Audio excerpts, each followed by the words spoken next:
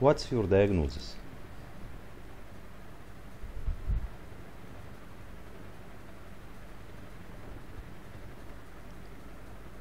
Over 25 years working as veterinarian, I have met more than 30 cases like this case. Complaint of the owner included dehydration with sunken eye, abdominal overdistension in a fluctuating manner, and percussion over the flank region revealed waves all over the abdomen. Absence of urination and absence of defecation with reduction of food intake. Rectal examination revealed presence of firm, dark color fecal matter covered with heavy amount of thick mucus.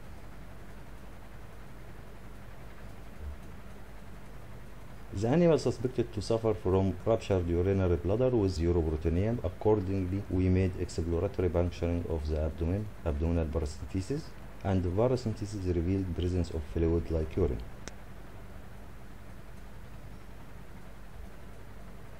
As the animal was suspected to have urinary retention with ruptured bladder, we continued examination of the animal and we found out that there was no stone in the urethra. Injection of the animal with fluid therapy and diuretic followed by massage of the prepuce revealed normal urination of the animal. Accordingly, we discarded the suspect that the animal may have urinary retention and ruptured bladder. Insertion of stomach tube into the rumen revealed presence of large amount of fluid and it seemed that it was the main cause of abdominal distension and maybe it is the fluid which came out from the abdomen during abdominal paracentesis.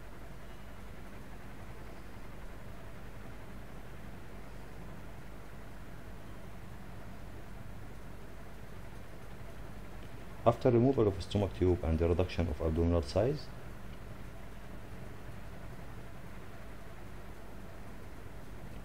abdominal distension disappeared like you see.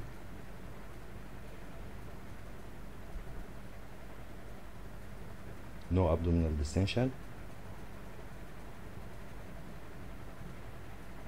Then after these animals were injected with Bykahepar or ginabel administered suitable amount of fluid therapy daily and about 1 to 2 liters of paraffin oil were administered orally. By this protocol of treatment only 50% of animals cured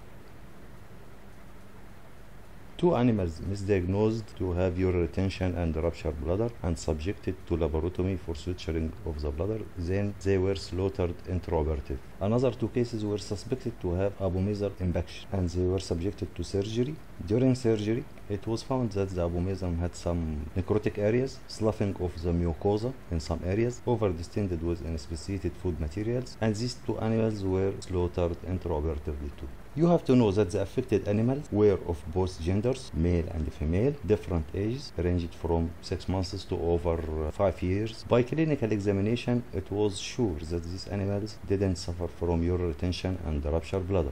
We didn't make post-mortem examination of the slaughtered animal. The remaining diagnosis, abomasal impaction, duodenal obstruction, abomasal torsion, abomasal displacement. What is your diagnosis?